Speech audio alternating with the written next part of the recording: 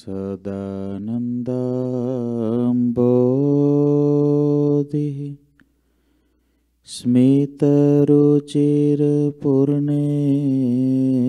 स्मितरुचिरपूर्णेन्दुवदन प्रफुल्लम्भो जन्मच्छदसदृश शोभाक्षियुगल कृपापारावार श्रितसकलजीवाति सुखदो महाश्रेयो मूर्ति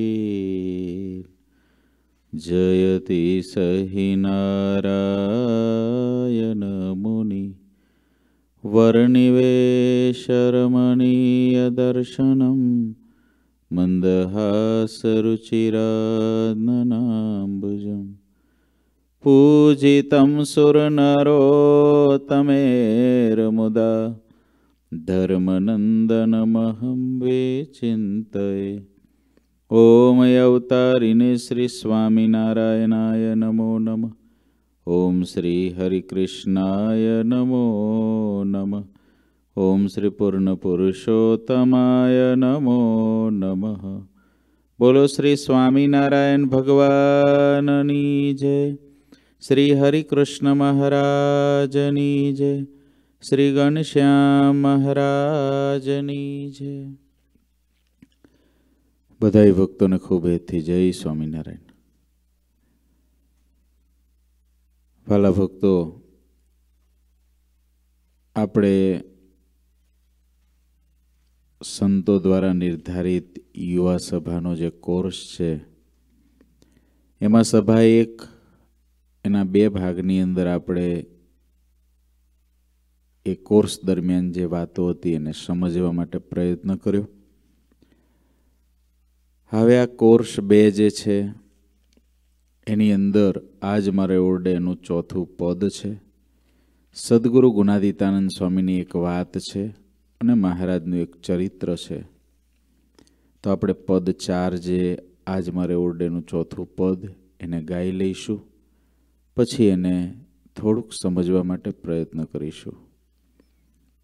વળી સૌ સાંભળો રે, મારી વાર્તા પરમયનું પરમ સિદ્ધાંત છે રે સૌને હિતકારી સુખરૂપ.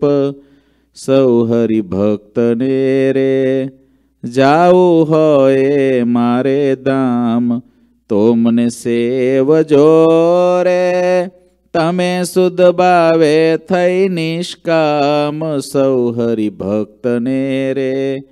રહેવું હોય મારી પાસ તો તમે મેલ જોરે મિથ્યા પંચ વિષયની આસ મુજ વિના જાન જોરે બીજા માઈક સૌઆકાર પ્રીતિ તોડ જોરે જૂઠા જાની કુટુંબ પરિવાર સૌ તમે પાડજો રે સર્વે દ્રઢ કરી મારા નિયમ તમ પર રીજ રે ધર્મ ને ભક્તિ કરશે ક્ષેમ સંતરી ભક્તને રે દીધો શિક્ષાનો ઉપદેશ લટકા હાથ ના રે કરતા શોભે નટવર વેશ નિજ જન ઉપરે રે.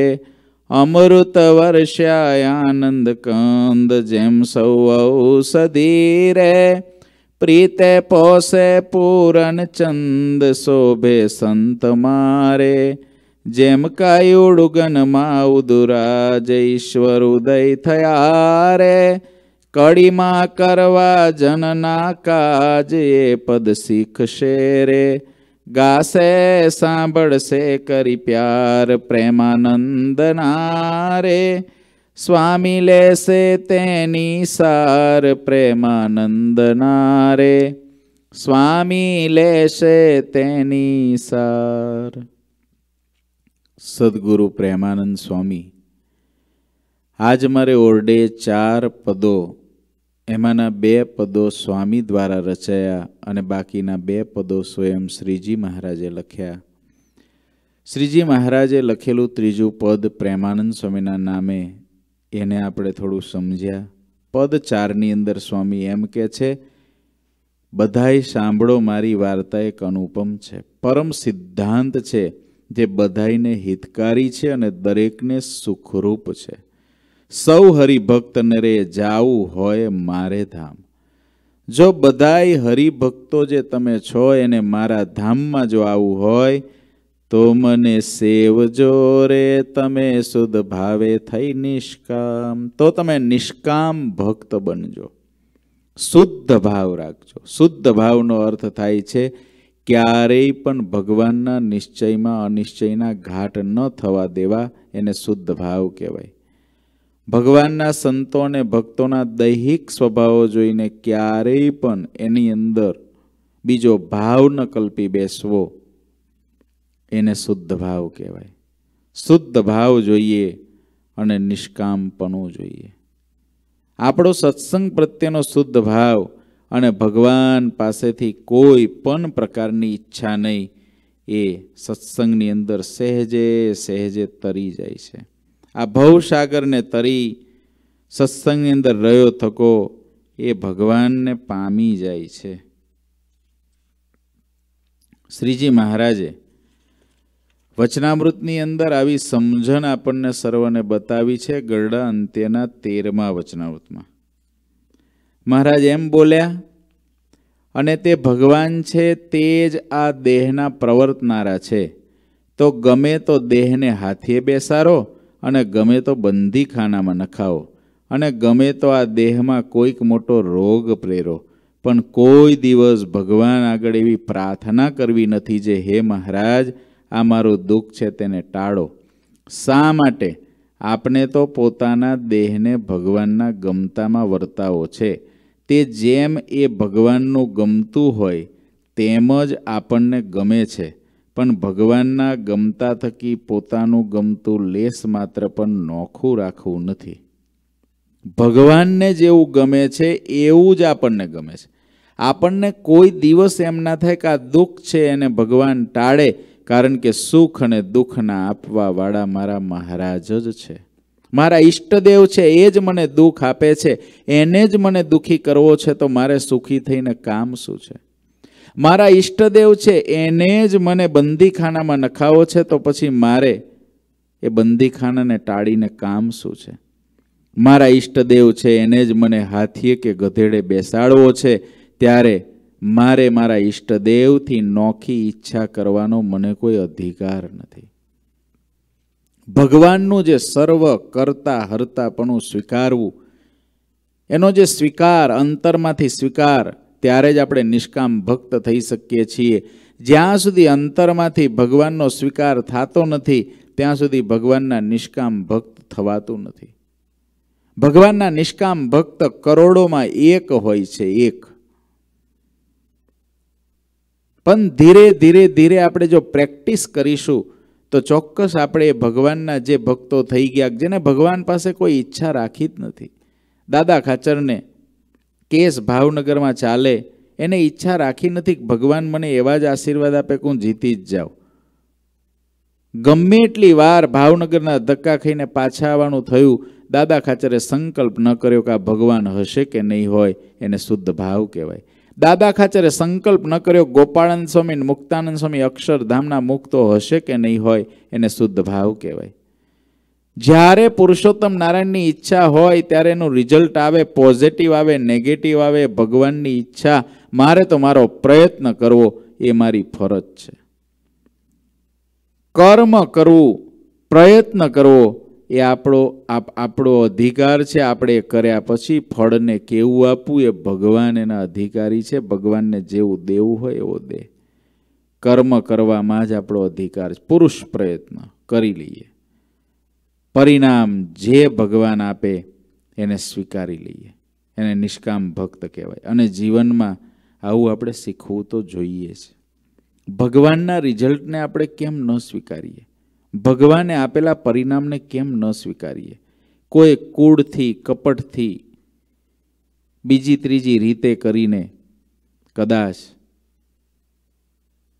આપણને કોઈને કોઈ રીતે નુકસાન થાય એવું કર્યું તો પણ એટલું સમજવું, ભગવાનની મૂર્તિ છૂટી એ જ નુકસાન છે. ભગવાનનો જપ છૂટે એ જ નુકસાન છે. ભગવાનનું ધ્યાન છૂટે એ જ નુકસાન છે. ભગવાનનું કરતા હરતાપણું સ્વીકારવાનું છૂટે એ જ નુકસાન છે. બાકી એક પણ નુકસાન, આ જગતનું નુકસાન એ મારું નુકસાન નથી. નિષ્કામ ભક્તને આવું રહે છે.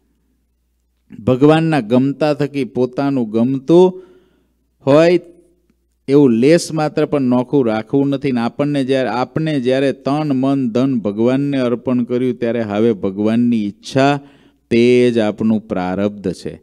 તે વિના બીજું કોઈ પ્રારબ્ધ નથી માટે ભગવાનની ઈચ્છાએ કરીને ગમે તેવું સુખ દુઃખ આવે. તેમાં કોઈ રીતે અકળાઈ જવું નહીં.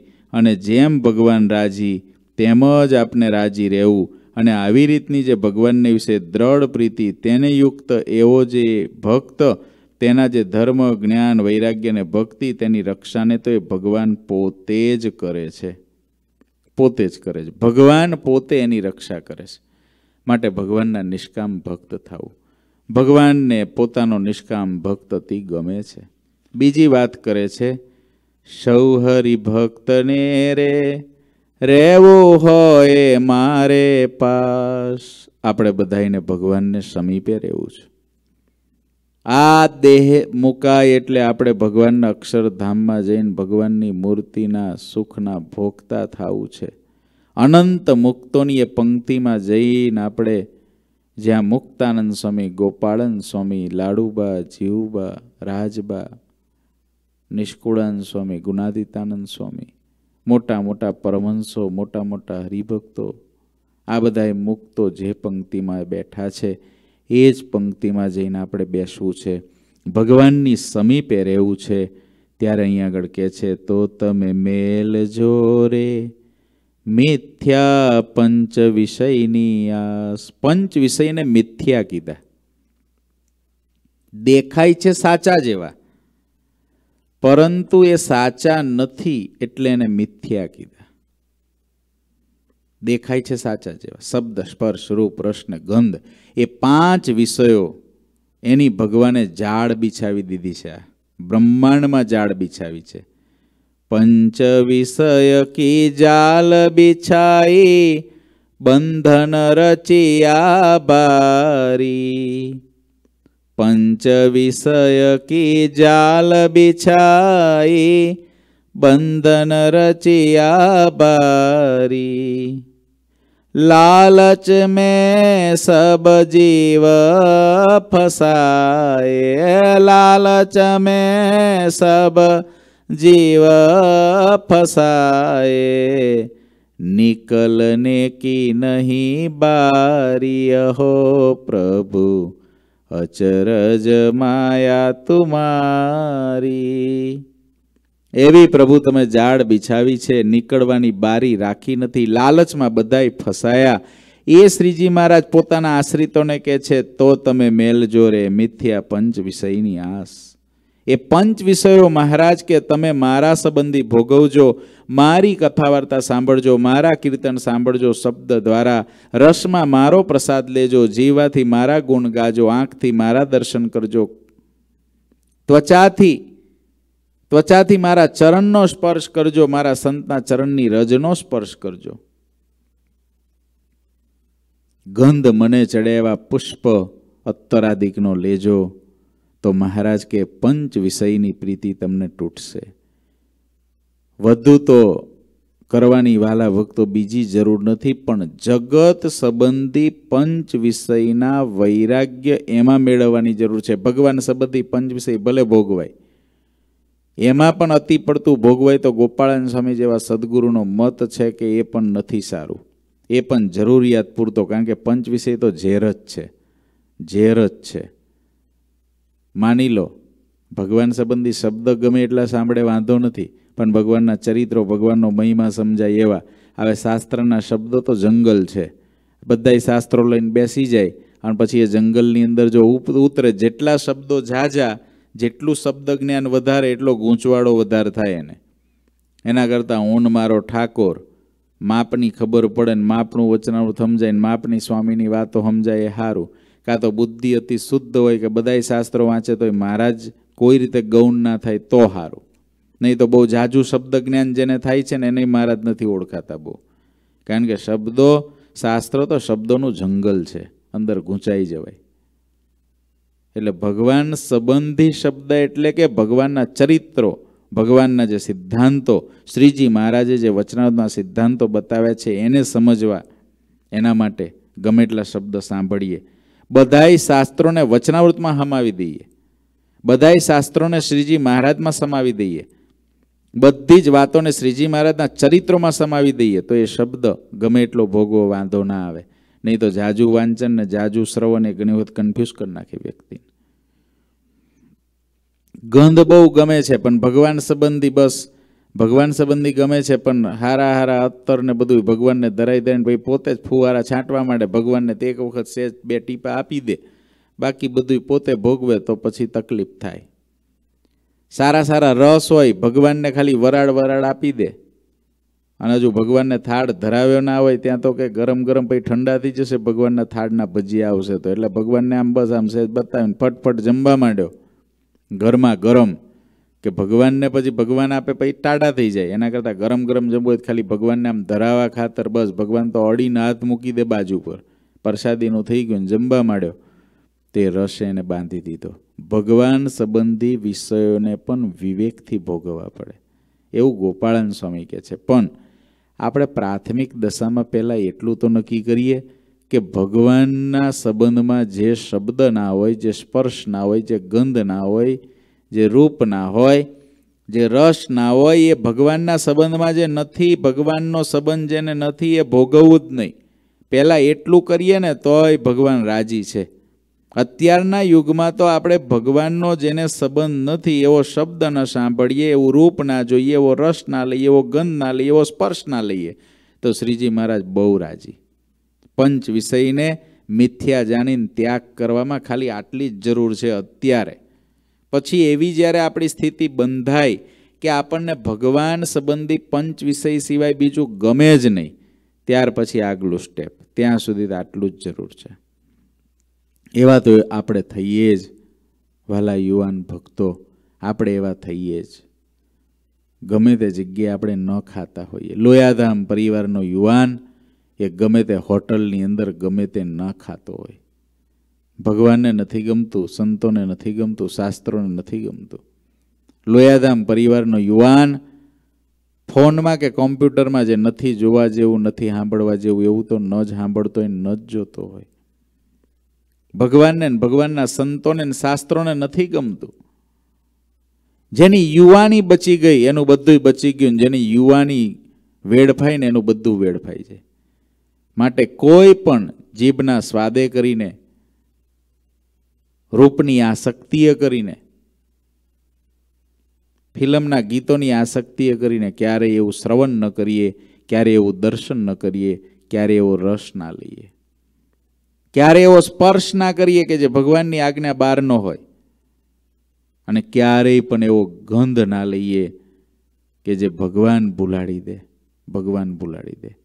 ઘણા તો એટલા બધા ફુવારા છાંટે, ઓહો એના કપડાના દોરા કરતાં તો એનો ફુવારો જાજો હોય. એટલું બધું છાંટે, એટલું બધું છાંટે. શ્રીજી મહારાજને છાંટીએ, આપણે નહીં. શ્રીજી મહારાજ માટે ઉપયોગ કરીએ. તમે ગ્રહસ્થ આશ્રમમાં છો. અમારે સાધુને તે બધો નિષેધ હોય, તમે ગ્રહસ્થ આશ્રમમાં છો, તમે બરાબર છે. તમારી રીતે તમારા આશ્રમમાં રહીને તમારે બધું કરવું પણ પડે, છતાં પણ આસક્તિથી કાંઈ નહીં. ભગવાનનું પ્રસાદીનું કરી તમારે સમાજની અંદર જે પ્રમાણે રહેવું ઘટતું હોય તમે એવી પોસ્ટો પર હો, તમારી સમાજમાં એ પ્રકારથી ક્રેડિટ હોય તમારે એમ રહેવું પણ પડે અને કરવું પણ પડે. પણ પંચ વિષયમાંથી ધીરે ધીરે પ્રીતિ ઘટાડવા પહેલાં ભગવાન સંબંધી પંચ વિષય જ ભોગવવા છે. જગત સંબંધી પંચ વિષય મારા કામનો નથી. આવું વિચારીને પહેલાં એનો ત્યાગ કરવો પડે. આજે ઘણા બધા યુવાન અને ઘણા બધા યુવતી બહેનો જે નથી ખાવાનું એ નથી ખાતા, નથી જોવાનું એ નથી જોતા, નથી સૂંઘવાનું એ નથી સૂંઘતા, નથી સ્પર્શ કરવા જેવું એ નથી કરતા. એને કરોડો કરોડો વંદન છે. કે તમે આટલી બધી ગંભીરતાથી આ વાતને લો છો, કરો છો, એટલે ભગવાન, ગુરુજી જેવા મોટા પુરુષ, સંતો, ભક્તો બધાય તમારી પર રાજી થાય. આવું જે જે ભક્તો કરે છે, ભગવાન સંબંધિત પંચવિષય કેટલા ભક્તો એવા છે. કેટલા બધા એવા છે? એ ભગવાનની કૃપા છે. ભગવાનની ખરેખર તમારી પર કૃપા છે. ગ્રહસ્થ આશ્રમમાં તો વળી ધર્મ, નિયમ, ચુસ્ત પાડી શકાય.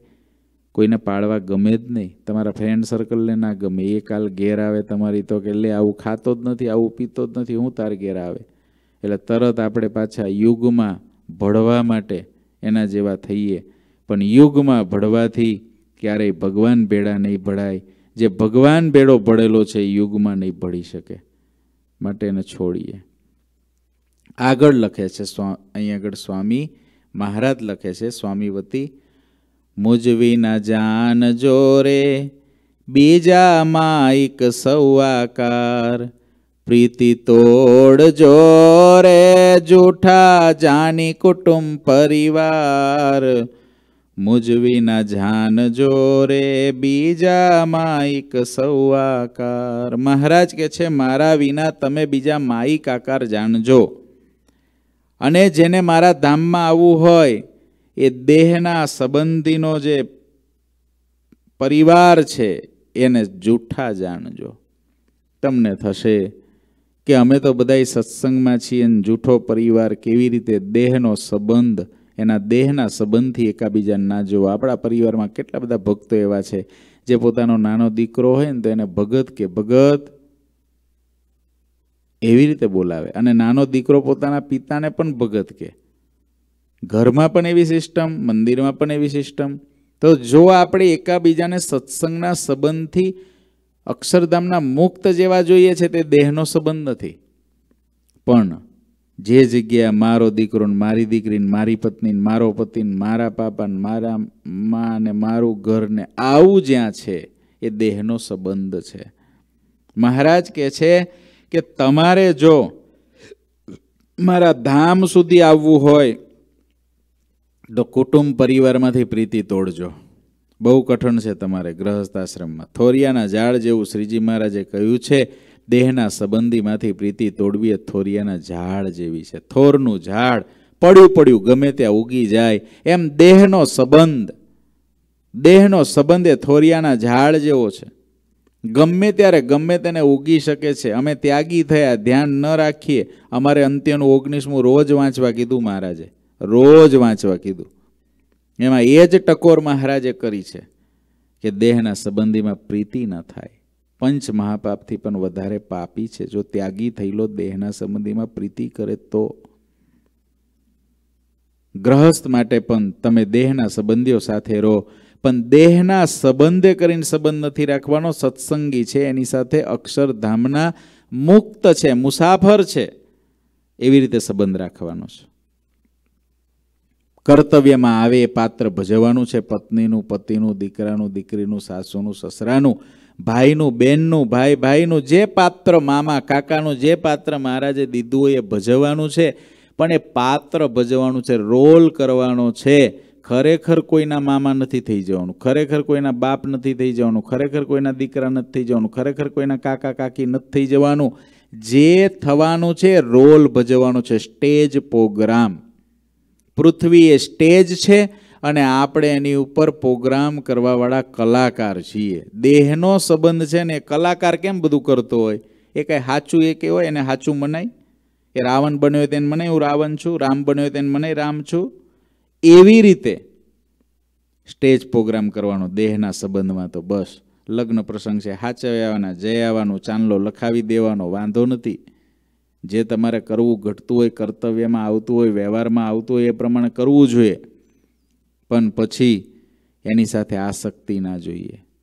ભગવાન ના જોઈએ ભક્ત છે, તમારા કાકા થાય, મામા થાય, ફુવા થાય, જે થાય, એ ભગવાનના ભક્ત છે તેની સાથે ભક્તનો સંબંધ રાખો. કે દેહના સંબંધે કરીને મારા મામા છે, પણ આમ તો એ ભગવાનના બહુ મોટા ભક્ત છે.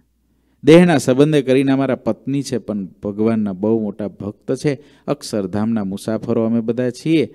અને અમને બધાને મહારાજે હારે રાખ્યા છે. એવી રીતે જો રહે તો પ્રીતિ દેહના સંબંધની ના થાય. બાકી ધ્યાન રાખવું પડે સારામાં સારા ભગતને. રોગનાથપુર ગામે ગુણાદિતાનંદ સ્વામીના કૃપાપાત્ર અર્જન બાપા વેકરિયા રહેતા હતા. બહુ સારા એકાંતિક ભક્ત. અંત સમયે મહારાજે દર્શન દીધા કે અમે તમને ધામમાં તેડી જવા આવ્યા છે. તે અર્જન બાપાએ બધા કુટુંબીજનોને ભેગા કરીને કહ્યું મને મારા તેડવા આવ્યા છે. હું ભગવાનના ધામમાં જઉં છું. આમ કહીને અર્જન બાપાએ દેહ મેલ્યો. અર્જન બાપાને વિમાનમાં બેસાડીને મારા ચાલતા થયા રસ્તામાં અર્જન ભગતની ભારે કસોટી કરી. ક્યાંક એવું આવે છે કે બાપાને સ્વપ્ન આવ્યું હતું અને ક્યાંક ચરિત્રમાં છે કે એમને ખરેખર મહારાજ લેવા આવ્યા. રૂગનાથપુર પાસેના જીકડી, જીકીડિયાળી, જીકિયાળી જીકિયાળી ગામે અર્જન બાપાના દીકરી રહેતા હતા. તે મહારાજે એમના ખેતર ઉપરથી વિમાન ચલાવ્યું. ખેતર હાવ રેઢું હતું. ખેતરમાં પારકા ઢોર ચરતા હતા. અર્જન બાપાને વિમાનમાંથી આ બધું દેખાયું એટલે સંકલ્પ થયો કે દીકરીનું ખેતર રેઢું છે, ધ્યાન રાખનારો કોઈ નથી. આ જ સમયે મહારાજ બોલ્યા આપણા વિમાનમાં આટલી બધી દુર્ગંધ ક્યાંથી આવી? ભગવાનને તો વિમાનની અંદર જગતનો કે દેહના સંબંધીનો સંકલ્પ થાય એટલે વિમાનમાં ગંધ આવવા લાગે. શ્રીજી મહારાજના વિમાનની અંદર જેમ અહીં ઉડતા વિમાનોની અંદર ઇમરજન્સી તરત કોલ આપવામાં આવે કે પ્લેનમાં કાંઈ તકલીફ છે એમ શ્રીજી મહારાજના પ્લેનમાં જો જીવ વાસનાવાળો આવી જાય ને, ત્યારે તરત શ્રીજી મહારાજના એલાર્મ પ્લેનના વાગવા લાગે. જેમ ફાયર એલાર્મ વાગે ને, એમ ત્યાં વાસના એલાર્મ છે બધા. વાસનાના એલાર્મ. કોઈને વાસનાની થોડી ગંધ આવે ને, એટલે તરત એલાર્મ વાગે. શ્રીજી મહારાજ કે આટલું પ્લેનમાં દુર્ગંધ કેમ આવે છે આ વિમાનની અંદર? આટલી બધી કેમ? વિમાનમાં મુક્તાનંદ સ્વામી વિરાજમાન હતા. બહુ દયાળુ મા જેવા સાધુ. એમને તરત અંસાર આવી ગયો એટલે અર્જન ભગત ઉપર દયા કરીને સ્વામી બોલ્યા, મહારાજ, આ લોક જ ગંધારો છે. એટલે અહીં તો ગંધ આવે જ. હમણાં આપણે વિરજા નદીને હામે પાર પહોંચી જઈશું ને વિમાન લઈને, પછી ગંધ નહીં આવે. મહારાજે કહ્યું, પણ સ્વામી, આ લોકની ગંધ આપણા અલૌકિક વિમાનમાં ના પેસે સ્વામીએ અર્જન ભગતનો બચાવ કર્યો કે, મહારાજ કંઈ આને હેઠા ના નાખે. મહારાજ આ લોક જ એવો છે હમણાં મહારાજ કે અમારા વિમાનમાં એની ગંધ પેસે જ નહીં. ત્યારે મહારાજના હજુરી સેવક મૂળજી ભગત, મૂળજી બ્રહ્મચારી બેઠા હતા ને, એ થોડા બોડા તે બોલી ગયા, મહારાજ, આ વિમાનમાં તમારા ભગતની વાસના ગંધાઈ છે. મહારાજ કે, વાસનાવાળાને સાથે ના લેવાય. માટે એને પાછો એના દેહમાં મૂકી દઈએ એમ કહીને મહારાજે ભગતના જીવને પાછો શરીરમાં મૂક્યો. અર્જન બાપાએ બાપાએ શરીર છોડ્યું એટલે બધા સગા સંબંધો બધા ભેગા થઈ ગયા હતા. અને શરીરને નનામીન બાંધી રહ્યા હતા, એવામાં શરીરમાં સળવડાટ દેખાયો. એટલે કહ્યું બધા અરે બાપા તો હજી જીવે છે. તે લોકોએ નનામીના બંધ ખોલ્યા, ત્યાં તો અર્જન બાપા બેઠા થયા. ગામ લોકો આશ્ચર્યજનક ઘટના નિહાળીને હું થયું હું થયું પૂછવા લાગ્યા. અર્જન બાપાના અંતરમાં બહુ પસ્તાવો થયો. એમને કાંઈ ઉત્તર ના આપ્યો એટલું જ કહ્યું. મહારાજે મન પાછો શરીરમાં મૂકી દીધો છે. બાપાની વાત સાંભળીને લોકોને નવાઈ તો બહુ લાગી, કારણ કે કહીને ગયા તક મહારાજ લેવા આવ્યા છે. હવે આ ચરિત્ર કોઈ સાંભળે તો થોડો ભય તો લાગવા માંડે. પણ લડતા લડતા મરે તો સાબાસ છે. આવા ભક્તોને મહારાજે એટલે જ ચરિત્ર કરાવ્યા કે આપણે સાવધાન રહીએ. હાવ ગાફલ ના બનીએ. ભયભીત થવાની જરૂર નથી. સાવધાન રહેવાની જરૂર છે. અર્જન બાપાને પોતાના અંતરમાં વાસનાની ગંધ રહી ગઈ. એનું ભારે દુઃખ રહેવા લાગ્યું. એમના મનમાં થયા કરતું કે હવે તો કોઈ સમર્થ સંતની કૃપા થાય તો મારી ગંધ જાય. એ અરસામાં બાલ મુકુંદાસ સ્વામી ચલાડા ગામ આવેલા ચલાડા પાસેના માડીલા ગામ આવેલા.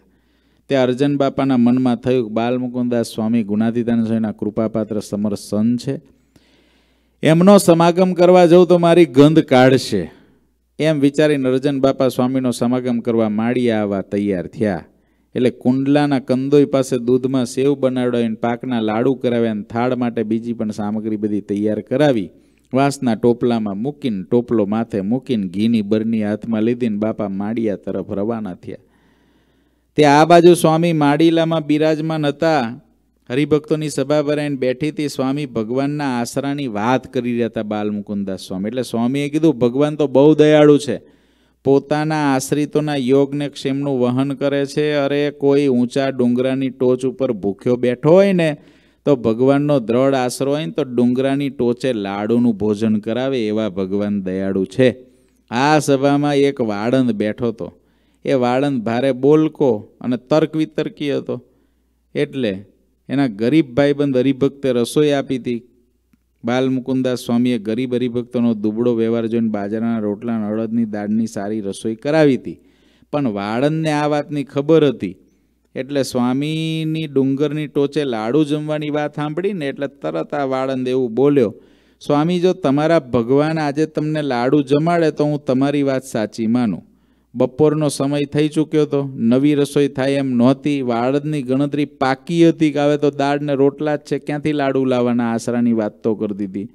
સ્વામી કે, માળા, લાડુ લાડુ શું કરે છે? ભગવાન તો અક્ષરધામનું અમૃત પીવડાવે એવા છે. આવી સ્વામીએ વાત કરી. એ પૂરી થઈ ના થઈ ત્યાં ખડકીએ રૂગનાથપુરથી અર્જન બાપા આવ્યા, માથે થાળની સામગ્રીનો ટોપલો. અર્જન બાપા મંદિરની ખડકીમાંથી જેવા ફળિયામાં પગ મૂક્યો, તરત અર્જન ભગતને આવકારતા સ્વામી એવું બોલ્યા, ભગત, ગંધ કાઢવા આવ્યા કે? બોલો, અંતર્યામી ખબર પડી ગઈ, ગંધ કાઢવા આવ્યા. અર્જન બાપાના આશ્ચર્યનો પાર ન રહ્યો અને અર્જન બાપા થોડી વાર ફળિયામાં થંભી ગયા. એના મનમાં થયું, અરે, સ્વામી તો મારા અંતરની વાત અગાઉથી જાણી ગયા. અર્જન બાપાએ કહ્યું, આ મા બાપ ગંધ કાઢવા આવ્યો છું.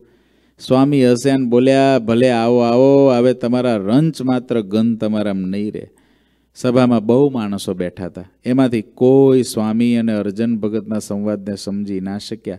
આ બાજુ અર્જન બાપા મંદિરમાં આવ્યા, થાળના ટોપલા ઠાકોરજીના સિંહાસન પાસે મૂક્યા. ઠાકોરજીને દંડવટ કર્યા, સ્વામીને પગે લાગીને પાસે બેઠા ને બોલ્યા, સ્વામી, બપોરનો સમય થવા આવ્યો છે. થાળનું ટાણું છે.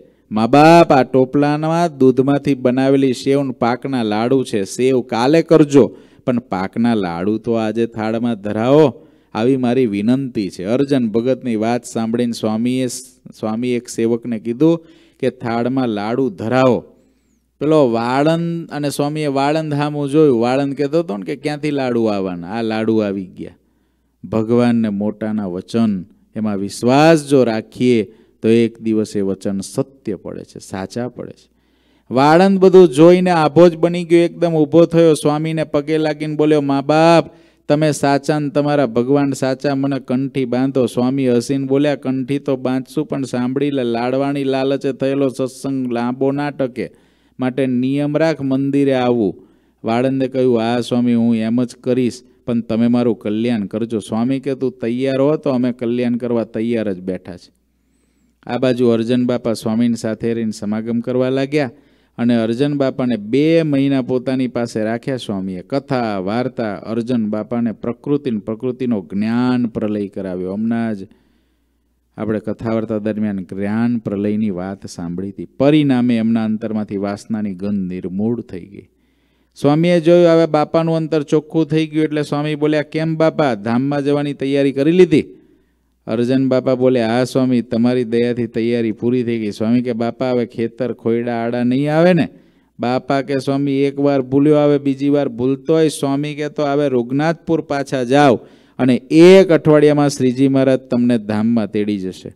અર્જન બાપા રૂગનાથપુર આવ્યા, સગા સંબંધીઓને ભેગા કર્યા, પોતે દેહમાં કેમ પાછા આવ્યા બધી ઘટનાનું રહસ્ય જાહેર કર્યું અને એવું બોલ્યા જુઓ તો ખરા, જીવને વાસના ટળવી કેટલી કઠણ છે. વાસના તો વજ્ર સાર જેવી છે. ગુણાતીતાનંદ સ્વામીનો કૃપાપાત્ર છતાંય મારી વાસનાની ગંધ આટલી રહી ગઈ હતી. સ્વામીનો સમાગમ કરવામાં એટલી કાચપ બાલ મુકુંદાસ સ્વામીએ મને ચોખ્ખો કર્યો. તમે બધા સાવધાન રહેજો, સંતોનો સમાગમ કરજો અને વાસનાની ગંધ કાઢવા મથતા રહેજો. આમ મહારાજ, તમને પણ ધામમાં તેડી જશે. આમ કીધું. અને આ બાજુ અઠવાડિયાની મુદત થઈને સ્વામીના વચને શ્રીજી મહારાજ અર્જન બાપાને ધામમાં તેડી ગયા. માટે મહારાજે એમ કીધું, પ્રીતિ તોડજો રે, જોઠા જાની કુટુંબ પરિવાર. આગલા એકેય પરિવાર સાચા ન રહ્યા, તો હવે આ જે પરિવાર મળ્યો છે, સાચો કેમ રહેશે? આગલા જન્મોના જેટલા પરિવારો હતા, એ બધાય ટળી ગયા છે. તો આ જન્મનો પરિવાર પણ નહીં જ રહે, આવો વિચાર કરીને ભગવાનનો ભક્ત. આ જન્મના પરિવારના જો સત્સંગી થયા હોય, તો સત્સંગનો સંબંધ રાખે, ભક્તપણાનો સંબંધ રાખે, મુક્તપણાનો સંબંધ રાખે પણ દેહનો સંબંધ સાચો ન રાખે, ન માને.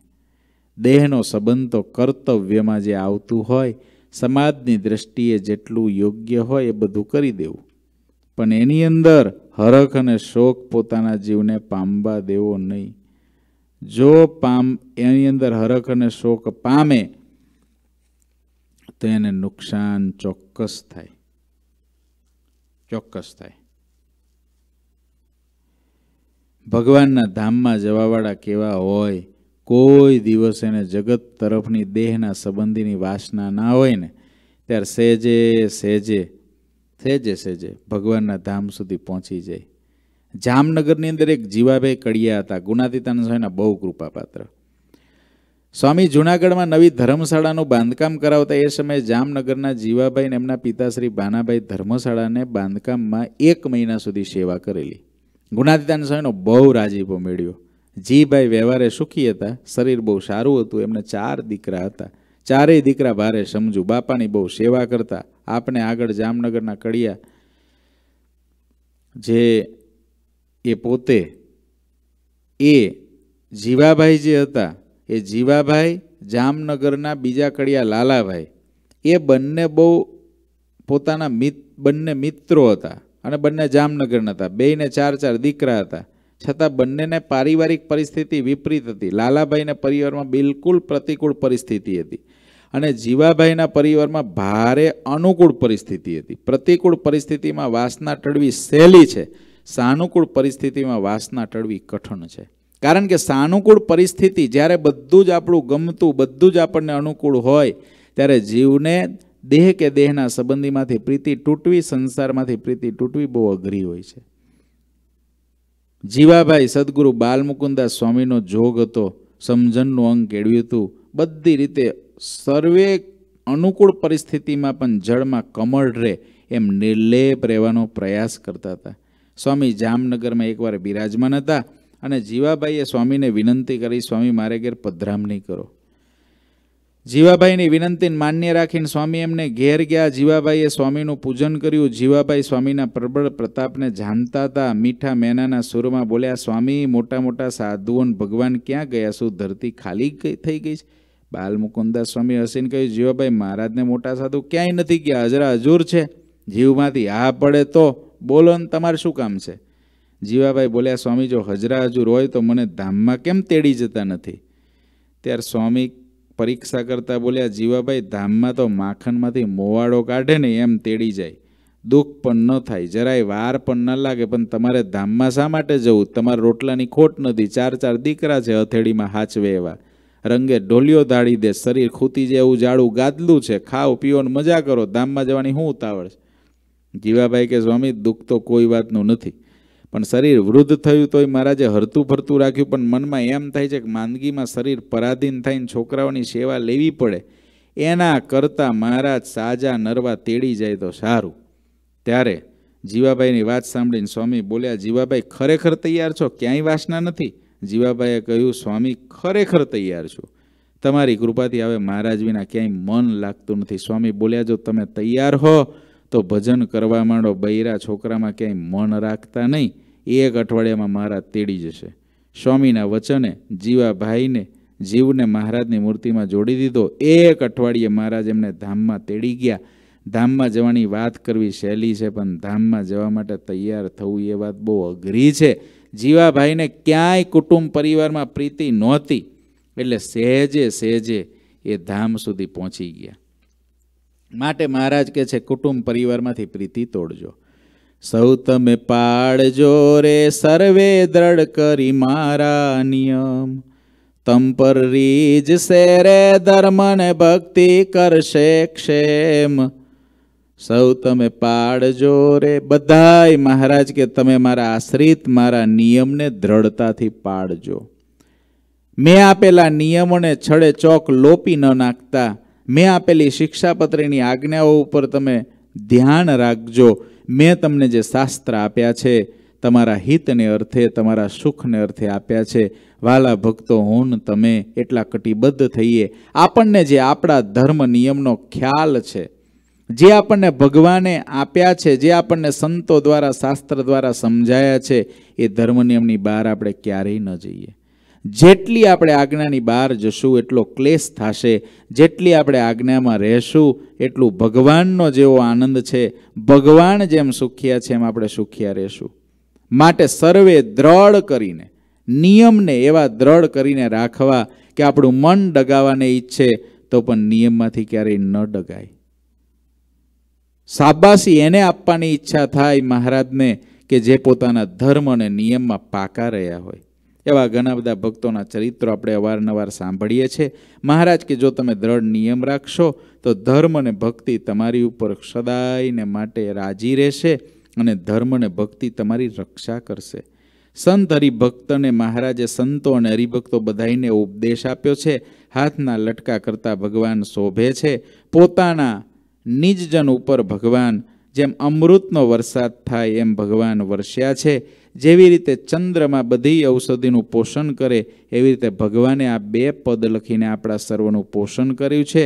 જેમ સંતોને મધ્ય, જેમ આકાશમાં તારા મધ્યે ચંદ્રમાં શોભતા હોય, એમ સંતોને મધ્ય ભગવાન શ્રી હરિ શોભી રહ્યા છે. કળિયુગની અંદર ઈશ્વર ઉદય થયા છે, કડીમાં કરવા કળિયુગની અંદર જીવનું કલ્યાણ થવું કઠણ છે, ત્યારે ભગવાન સ્વામિનારાયણ કળિયુગમાં પ્રગટ થઈ, જીવને આ જ દિવસ સુધી જે આત્યંતિક કલ્યાણની પ્રાપ્તિ ન થઈ હોય, એવું મોટું કલ્યાણ કરવા માટે પ્રગટ થયા છે. એમ કરીને પ્રેમાનંદ સ્વામી કહે છે, આ પદ જે ગાશે, સાંભળશે અને શીખશે, એની ઉપર ભગવાન બહુ રાજી થશે. આપણે આ પદોને શીખીએ, યાદ રાખીએ. આગળ સદગુરુ ગુણાદિતાનંદ સ્વામીની પ્રકરણ એકની એકસો ને ત્રીજી વાત છે, સ્વામિનારાયણ અરે સ્વામિનારાયણ અરે, સ્વામીએ વાત કરી જે મોટાને વિશે મનુષ્ય ભાવ નથી રહ્યો તો કેમ તપાસ કરવો? એ પ્રશ્નનો ઉત્તર જેની કોઈ ક્રિયામાં દોષ ના આવે એ જ દિવ્ય ભાવ છે. ભગવાનના મોટા મોટા મુક્તો હોય, ભગવાનના મોટા મોટા સંતો ભક્તો હોય, એની ક્રિયામાં દોષ ન આવે. મનુષ્ય ભાવ ન હોય તો જ ક્રિયામાં દોષ ના આવે. મનુષ્ય ભાવ હોય તો ક્રિયામાં દોષ અવશ્ય આવે. મનુષ્ય ભાવ હોય તો. કઈ ક્રિયામાં દોષ ના આવે? તો કે એમનો દૈહિક સ્વભાવ, એમનું બોલવું, એમનું જોવું, એમનું સાંભળવું, એમનું ખાવું. આ બધા દૈહિક સ્વભાવો છે. દૈહિક ક્રિયાઓ છે. નાવું, ધોવું, આ બધાની અંદર મનુષ્ય ભાવ હોય તો એક હજાર રીતે એમાં અવગુણ આવે. દૈહિક ભાવ જો ભગવાનમાં કલ્પેલો હોય તો ભગવાનમાં પણ મનુષ્ય ભાવના કારણે અવગુણ આવે, ભગવાનના મોટા મુક્તોમાં પણ આવે. પણ હંમેશા ભગવાન અને મહામુક્તોનો જે આપણને હૃદયમાં અનુભવ થયો હોય, ભગવાનના જે મોટા પુરુષો, ભગવાનના જે મોટા એકાંતિક ભક્તો, એનો જે આપણને હૃદયમાં અનુભવ થયો હોય, એ અનુભવથી એને જોવા, અનુભવથી એને અનુભવવા આપણા અનુભવ સિવાય જો જોવા જઈએ, આપણા અનુભવ સિવાય જો આપણે એને સમજવા જઈએ તો નુકસાન થાય. કારણ કે મચ્છરિયું કોઈ દી આકાશનો તાગ ન લઈ શકે, એમ ભગવાનના મહામુક્તોનો તાગ આપણા જેવા સામાન્ય જીવો શું લઈ શકે? ગુણાદિતાનંદ સ્વામીએ રાધારમન દેવના બળદ, એ બળદ એક વખત ચરવા ગયા પાછા ના આવ્યા કંઈક ખોવાઈ ગયા તો સ્વામી કલ્પાંત એટલે આમ સ્વામી આમ થોડા દુઃખી થઈ ગયા એમ માથે હાથ મૂકીને બેઠા ત્યાં એક સાધુએ કીધું, સ્વામી આ બળદ બળદ શું કરો છો? ભગવાન સંભારો ને કે? સ્વામી કે, વાત સાચી છે, પણ આ રાધારમણ દેવની ખેતી અટકી ગઈ છે ને, ખેતરો ખેડવાના એટલે મને દુઃખ છે. હું બળદ બળદ કરો, પ્રકૃતિ પુરુષ સુધીનું રાગ કહો છો ને કે? સ્વામી કે, વાત સાચી. પછી થોડો સમય ગયો, ત્યાં એ કહેવાવાળો સાધુ હતો, એ લઈ ગયો હતો. અને એને એવું હતું કે એક જ કલમે મારે બધું આ પૂરું કરવો ગ્રંથ. હવે એની કલમ ખોવાની. હવે કલ્પાંત કરવા લાગ્યો. દુઃખી દુઃખી થઈ ગયો. સ્વામી કે બીજી કલમ લઈ લો કોઠારમાંથી. અરે ના, મારે તો એ જ કલમે લખવાનો નિયમ હતો. એ કલમ ક્યારે મળશે? સ્વામીને તરત યાદ આવ્યું, જીવ જોવો તો ખરા. પેલા બળદ તો રાધારમન દેવના હતા. મંદિરની ખેતી અટકી હતી. રાધારમન દેવને નુકસાન થતું હતું એટલે મને તો દુઃખ થતું હતું આને તો એની કલમ બીજી મળે છે તોય દુઃખ થાય છે. સ્વામી કંઈ બોલ્યા નહીં. પણ કલમ માટે, ભગવાનના મોટા પુરુષમાં બળદ માટે જે દોષ કલ્પ્યો ને, એટલે એને કલમ માટે એટલું દુઃખ થયું. શ્રીજી મહારાજ, વચનામૃત ગઢડા પ્રથમનું અઠ્ઠાવનમું જે જે દોષ એ ભગવાન કે ભગવાનના મોટા સંત કે ભક્તને વિશે કલ્પે છે ને બધા જ દોષ એમાં આવે છે. ભગવાનના મોટા સંત કે ભક્તો કે એની વાત જવા દો, કોઈ સામાન્ય જેવો જીવ હોય ને એનો દોષ બહુ કલ્પ્યા કરો ને તો એ દોષ આપણામાં આવી જાય. આપણામાં આવી જાય. ક્યારેક અભ્યાસ કરજો. કોઈનો દોષ બહુ જ આમ નાનો અમથો જીવ ગણાતો એનો લેજો. થોડા સમય પછી આપણામાં દોષ દર્શન થવા જ માંડશે. આવી જ જશે. માટે મનુષ્ય ભાવ નથી રહ્યો, એ કેમ ખબર પડે તો કે એની ક્રિયામાં દોષ ના આવે? ગોપાળન સ્વામી વાતમાં કે દ્રઢ અભિનિવેશ થયો કોને જવાય, કોને કોને કહેવાય? તો કે મોટા પુરુષ હજારોનો વ્યવહાર ધૂળમાં મેળવી દે, હજારોનો વ્યવહાર ધૂળમાં મેળવી દે, તો પણ કોઈ દિવસ એમાં શંકા ના થાય એને દ્રઢ અભિનિવેશ થયો કહેવાય. એને દ્રઢ અભિનિવેશ થયો કહેવાય. માટે ભગવાનના મોટા પુરુષો, ભગવાનના દિવ્ય સંતો, ભક્તો, એકાંતિક ભક્તો, એની નાની નાની કોઈ બાબતોને લઈ અને ક્યારેય પણ એમાં મનુષ્ય ભાવ ના લાવવો. એ તો ભ્રમની મૂર્તિ છે, દેહ છે, ત્યાં દેહના થોડા ભાવ હોય, બોલવું, ચાલવું, બેસવું, ઉઠવું હોય, ખાવું, પીવું હોય, પણ એ દેહ જ્યાં મૂકશે, તેનો આત્મા કેટલો બળ્યો છે, એ જોવું. જો એવું જોશું જો આપણું વિઝન એવું થશે, તો કલ્યાણના માર્ગમાં ક્યારેય વિઘન નહીં આવે. અને જો એવું વિઝન નહીં હોય, તો ગમે એટલા ત્યાગ, વૈરાગ્ય, ભક્તિવાળા હોઈશું, તો પણ આપણને કલ્યાણના માર્ગમાં વિઘન આવશે એમ વરતાલનું ચૌદમું વચનામૃત કહે છે. માટે ભગવાનના ભક્તો આપણે બધાય. ભગવાન, ભગવાનના મહામુક્તો એમાં કોઈ દોષો કલ્પવા મહેનત ના કરીએ. એ તો કલ્પેલા જ હોય. કારણ કે આપણા હોય, કલ્પેલા હોય, આપણને જેવું વર્તે, એવું આપણને લાગે એને દેહદર્શી દેખે પોતા જેવા સંસારી. આપણને જેમ દેહના ભાવ નડે છે એમ, એને પણ દેહના ભાવ નડે એમ. વચનાવતમાં મહારાજે કહ્યું, પંડિતો હોય, એને એમ થાય કે જેમ આપણા કામ ક્રોધાદિક ટળતા નથી, એમ આના નહીં ટળતા હોય. આવું મહારાજ બોલે છે, આવું થાય. નહીં ટળતા હોય. પણ ભગવાનના મોટા પુરુષો ને ભગવાનના મહામુક્તો આખા જુદી પ્રકારના હોય. એકવાર મૂળજી બ્રહ્મચારી ખરેખરું ઘીમાં બનાવેલું રીંગણનું શાક ને રોટલો ચોડીને જમતા હતા ને, ત્યારે એમ કીધું કે આવું ભોજન મહારાજ કે કોઈ જમે તો મૂળજી બ્રહ્મચારી જેવો નિષ્કામી હોય નહીં. આ તો મૂળજી બ્રહ્મચારી છે કે એને આ ભોજન પણ નિષ્કામી રાખે છે. હવે એવું ભોજન જમવાવાળો કોઈ હોય ને એને કોઈ વિકારો, વિકૃતિઓ થતી હોય, તે મૂળજી બ્રહ્મચારીને જોવે ને જો કલ્પના ઊંધી કરે તો? કલ્પના જો ઊંધી કરે તો એના જીવનું શું થાય? ભગવાનના મહામુક્તો છે, એ આપણા જેવા નથી. કેવી રીતે ખબર પડે કે આ ભગવાનના બહુ મોટા ભક્ત છે, સંત છે, કેવી રીતે ખબર પડે?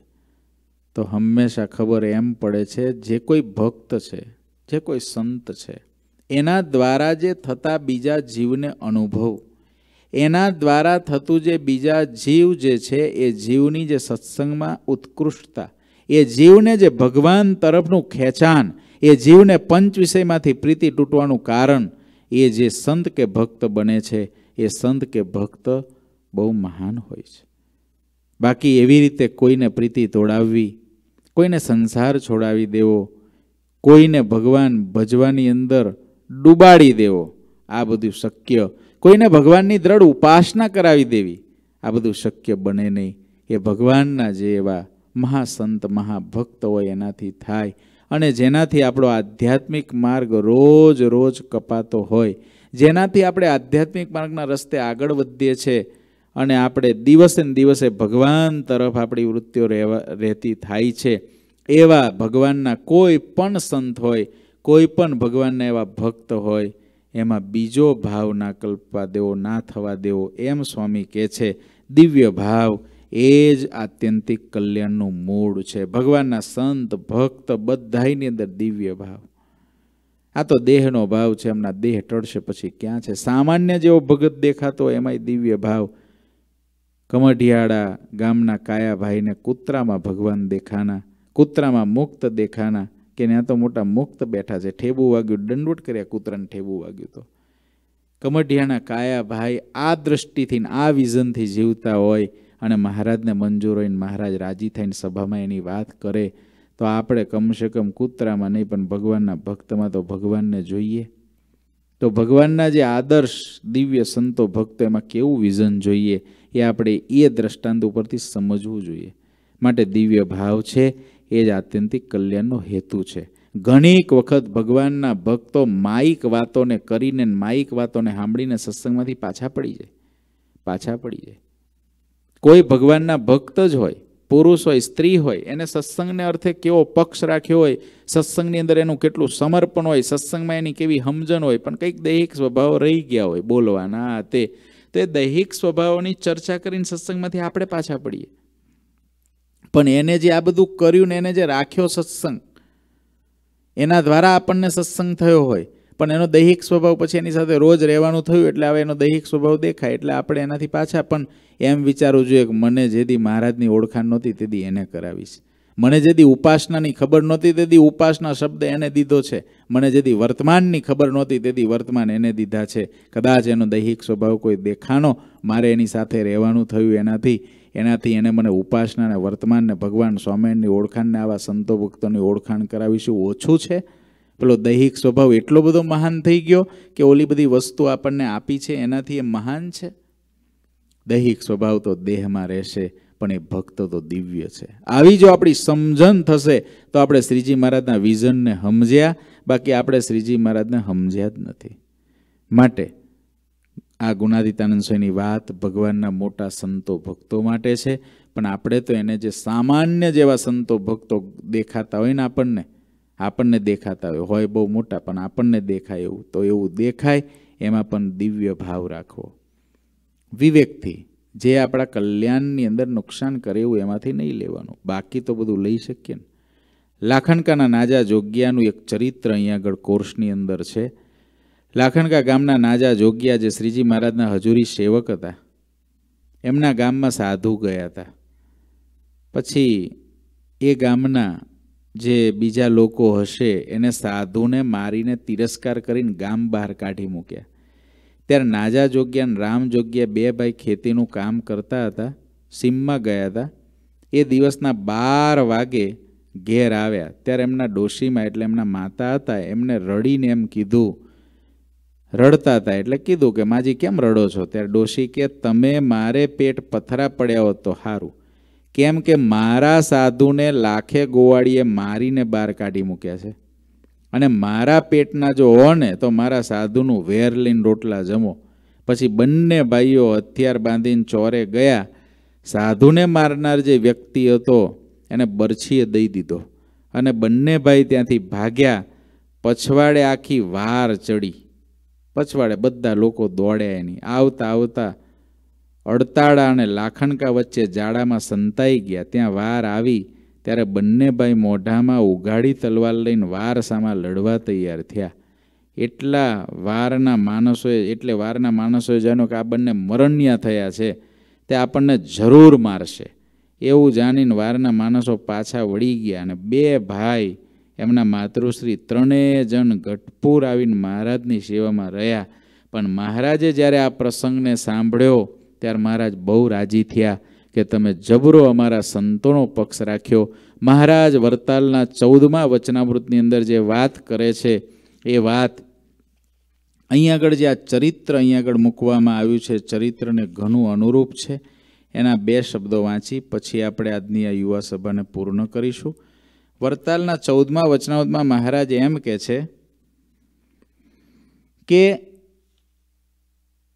ધર્મશાસ્ત્રને વિશે જે વર્ણાશ્રમના ધર્મ કયા છે, તે થકી જે બાહ્ય વર્તતો હોય, અને સર્વે લોકોને એમ જાણે કે આ કુપાત્ર છે, અને કુપાત્રને ભગવાન કે ભગવાનના સંતનો જો હૈયામાં ગુણ આવે, તો એને એ મોટું પુણ્ય થાય છે, અને વર્ણાશ્રમના ધર્મ લોપ્યા હતા, તેનું જે પાપ લાગ્યું હતું, એ બધું નાશ થઈ જાય છે. અને જીવ અતિશય પવિત્ર થઈ જાય છે. અને જે વર્ણાશ્રમના ધર્મ તેને પાળતો હોય, એને બધાય લોકના લોકો એમ જાણે કે આ ધર્મવાળો છે. પણ ભગવાનને ભગવાનના સાધુ તેનો જો તે દ્રોહ કરતો હોય, તો તે સત્પુરુષના દ્રોહનું એવું પાપ લાગે છે કે વર્ણાશ્રમના ધર્મ પાળેનું જે પુણ્ય એને બાળીને ભસ્મ કરી દે છે. માટે પંચ મહાપાપ કર્યા હોય તે તો સત્પુરુષને આશરે જઈને છૂટાય. પણ સત્પુરુષનો દ્રોહ કરે તેને તો કોઈ ઠેકાણે છૂટ્યાનો ઉપાય નથી. કોઈ ઠેકાણે છૂટ્યાનો ઉપાય નથી. માટે અહીં આગળ લાખણકા ગામના નાજા જોગિયા અને બંને ભાઈઓએ જ્યારે સંતોનો પક્ષ રાખ્યો રામ જોગ્યાએ, ત્યારે મહારાજ બહુ રાજી થયા. એ ચરિત્ર દ્વારા આપણે પણ ભગવાનના સંતો, ભક્તો જેના દ્વારા આપણે સત્સંગમાં રોજ વધીએ છીએ, વધ્યા છીએ અને વધશું, એવાનો પક્ષ, એવાની સાચી નિષ્ઠા, ભગવાન સ્વામિનારાયણના સ્વરૂપને વિશે અનન્ય નિષ્ઠા રાખી આપણું જીવન જો વ્યતીત કરીએ તો મહારાજ આપણી ઉપર રાજી થાય. એવી આ યુવા સભાનો કોર્સ જે બે છે, એની આ વાતો આપણે સાંભળી. ફરીથી આગળ આગળ જ્યારે જ્યારે પણ યુવા સભાનો કોર્સ જે જે સમય આવશે, ત્યારે દરેક યુવાન ભક્તો જ્યાંથી પણ સંતો કથા કરે, જે કોઈ સંતો આની અંદર કથા વાર્તા, જે યુવા સભાનો આખો કોર્સ સંભાળવાળા સંતો દ્વારા જે સંતોને એ લોકો કહેશે ત્યાંથી સંતો કથા વાર્તા કરશે અને આપ સર્વે સાંભળજો. નિત્ય આની અંદર આનું મનન કરજો. સંતો એની પરીક્ષા લે ત્યારે એની ટાઈમે ટાઈમે પરીક્ષાઓ આપજો.